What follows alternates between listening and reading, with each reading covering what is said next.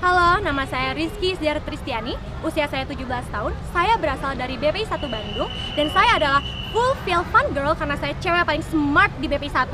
Menurut saya, tradisi Indonesia itu adalah multicultural dan itu merupakan identitas bangsa kita. Dan untuk mendukung tradisi dan kebanggaan Indonesia itu, topi topo biskuit mantap. Mantap.